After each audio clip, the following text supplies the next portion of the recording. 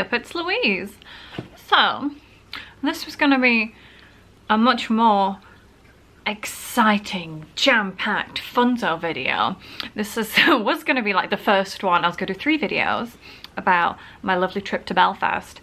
So the first one was supposed to be we went on a tour out and saw some like Game of Thrones filming locations. I went to the Giant's Causeway and I took a load of footage and I put it on my external hard drive and it all got corrupted so I'll just uh, I'll just run through it with you. There's no there's no little videos for you and I'm sorry so this is just like a little a little bonus guy. But that does mean that I now have to go back to Belfast so I can go again. So I can uh, get that content baby. Uh, but yeah it was so good. So first of all yes I went to Belfast. It was lovely. Never been to Northern Ireland before. I've been to Dublin a couple times but obviously different country uh, really loved it. So yeah the flight was about 45 minutes. And then the other side they have like an airport bus. So you get on that I think it was like it's like 12 13 quid return. So you like buy ticket on your mobile. And that was so that was so good as well. It took about 50 minutes to get into belfast city centre. And then where we were staying it was about 15 minutes walk to our airbnb which was lovely. We stayed in an area called botanic which is right by like the university in the botanic gardens. It's quite like student a lot of like nice bars and restaurants and stuff. Love that. So yes first day got there got us bearings. I just bought a massive like two litre bottle of orange club my favourite drink and bought a load of Tayto, my favourite crisps. and then just did nothing. So we got up the next day to go on a Game of Thrones filming location slash Giant's Causeway slash some other stuff tour. So it was like a coach tour. We got on in the morning, got driven around, did some stops, got some dinner, bought some souvenirs. Wonderful time. But the kicker is my partner booked the tickets and I was like, what time do we need to be there in the morning? And they said, oh, we leave Belfast at half nine. So we're just like chilling in the Airbnb. It's quarter to nine. We check the timings again. No, they leave Belfast at nine. Um, so we had to quickly get all our stuff together. Run. I was wearing jeans and like Doc Marten boots as well, so not a comfortable run for me. Run to the city centre. Thankfully, like, big up Irish tour tickets, first of all, because the tour was fantastic. Second of all, your staff are amazing. I was like panting and running, got my big backpack on, my, like a litre of water, all my snacks, like on the phone to this poor man. Uh, I believe it's called Joe. Big up Joe, you are the bomb. Uh, and he was like, yeah, we can wait for you for five minutes. And five minutes only. We made it at like 9.03. And then the driver was also really nice. Big up driver Stuart, you are the bomb.com. Uh, so yeah, apart from that, we got on and I was just like wheezing for about 10 minutes because like I do run, but um, just not in jeans and I had like leggings on underneath my jeans as well because it was really, really cold. Uh, and like a coat and a raincoat and a backpack. Like normally I just will run and I'm like wearing leggings and a t-shirt and I've got a little bottle of water and that's it. You know, it's different and I'm usually wearing trainers. So yeah, that was annoying. Uh, but also, honest mistake, it happens. We made it on time. It was lovely. So the tour, it was like £35 for the ticket uh, for each person and you got like entry to all of these little places and you got like like VIP treatment at the Giant's Causeway. So we went to the Dark Hedges first of all, which was a Game of Thrones filming location. Uh, it's only in like one episode for about like 15 seconds as the King's Road. But that's so, I, I, just thought like when we got like got off the coach I genuinely thought like oh it's just trees. Uh, like it's just trees.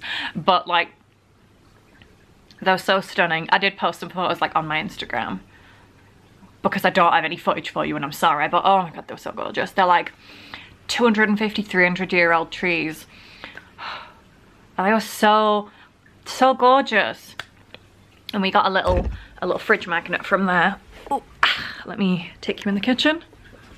Come walk with me, come walk with me in the kitchen. So we got a little magnet.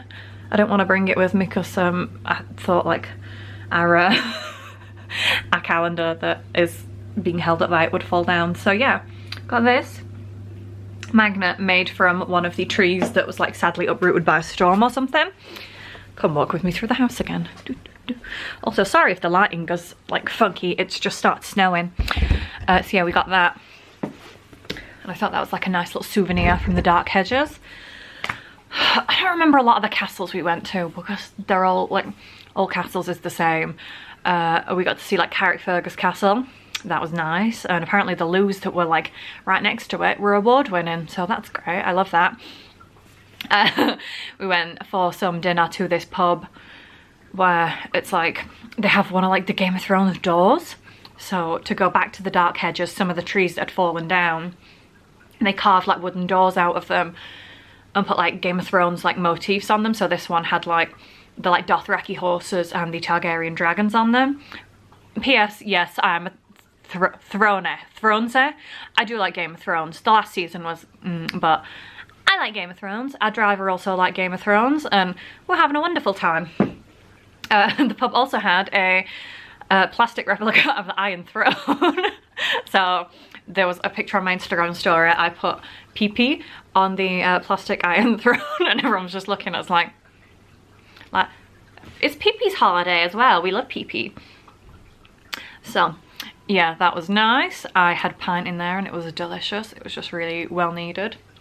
Um, yeah, there's some more castles, I guess. I don't know. We saw some like, we went to like this little village and it was like, oh, they used those steps in one scene of Game of Thrones. they love Northern Ireland in Game of Thrones. They love it. And they love Game of Thrones in Northern Ireland as well. But yeah, so they filmed a lot of stuff in uh, Northern Ireland, which was very cool. There was like a jeweler's around there as well that made like all the costume jewellery for the show very very cool it's brought a lot of money into northern ireland and also when we were driving through like driving through like the glens and like on the coast it's like you can see why they would choose it it's stunning it's so stunning i would definitely do this tour again but the best part giant's causeway it's so like I see why it's a UNESCO World Heritage Site. It is absolutely stunning. It's gorgeous. It's amazing. It's it was breathtaking and it stayed really nice all day. It was cold and it was a little bit windy but like nice and sunny. It was clear. Oh my god. It was so nice. Even though I was really scared I was going to fall off when we were walking on them. I thought I was going to fall in the sea. It's amazing that you can just walk on them. You can get in there for free it's a national trust you can get in there for free but um, yeah we got to go in like the visitor centre as well and go around the gift shop which was fun so yes they were telling us uh, about the origin story of the Giant's Causeway so our driver was saying he was telling us the story he was like oh there's the scientific explanation which is it's made from like volcanic activity whatever or there's the true version which was it was made by giants and he said, very rightly, it's called the Giant's Causeway, not the Science Causeway. Mic drop from driver Stuart there. See how we got to go. Uh, you could like self-guide or do like an audio tour or go with like a tour guide down like the, the little bit, the big path. What's this, my wiggly arm? Uh, to the causeway. So we did that, the tour guide. He loved his job. He was having the best time. He was having a wonderful time and he was also telling us the story. Slight different variations on the giant story, but anyway.